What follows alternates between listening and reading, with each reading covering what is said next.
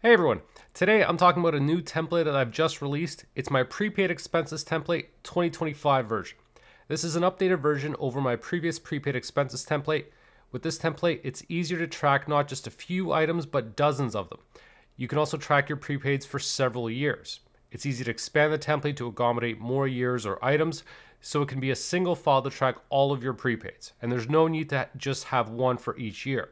So let's go over how it works. There are just a few fields where you need to enter in any values.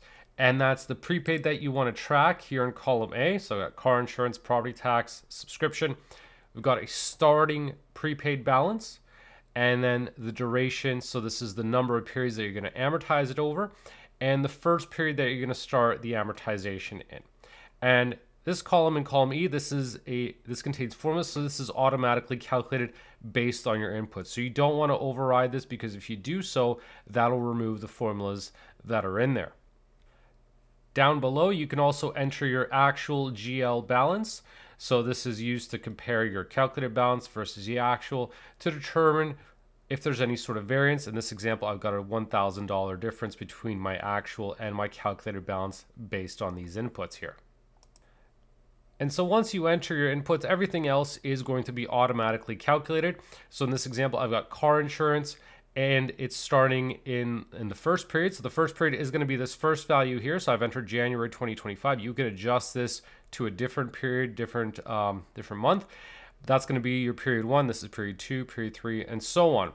I've got the period numbers hidden in row two. So if you wanted to expand this, you could just copy the formulas over across, but that's where that information is.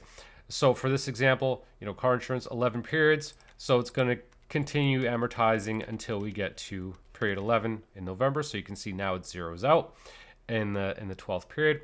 So for the property tax, that starts in the fifth period. So if we go to January, that's the first period, second period, third, fourth, fifth period. So that's where it starts. So this is where we can set up exactly where we want it to start.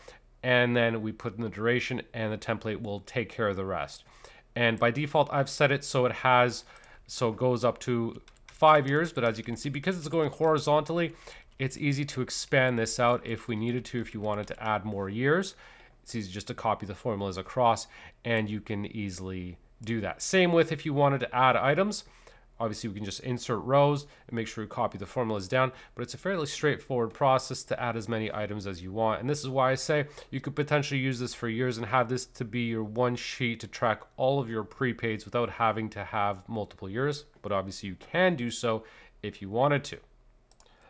Now, obviously, a big part of prepaids is tracking and reconciling them. So we've got the total period amortized cost. So this is basically just the summation of what we've amortized for that period. We've also got a year to date total, and this is a running total. As you can see, it's basically summing up these values since the start of the year. Now it does reset after period 12, so the assumption that I'm making is you're starting at the beginning of your fiscal year or the calendar year.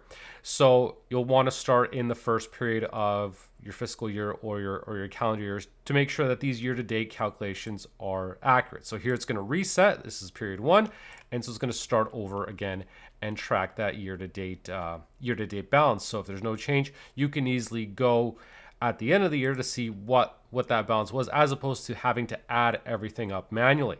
Now, if you're doing this mid-year and you know you're not amortizing anything until you know May, you can still use the starting period um, being your first uh, period of the year, the first month of the year, and just setting that first period till later in the year. That way, you can ensure that these year-to-date calculations are still going to be correct because the idea is you want them to ideally reset after period 12 and once you're into a new year. But obviously, if you set it, if I set my start date to you know May 2025, just because that's my first uh, first amortization period, that's going to throw off that calculation. So I'd suggest set, setting this to the to the first period of your of your fiscal year, or if you go by calendar year, set it to the calendar year, and then just adjust your starting point accordingly to make sure that it's that the values are in the right month.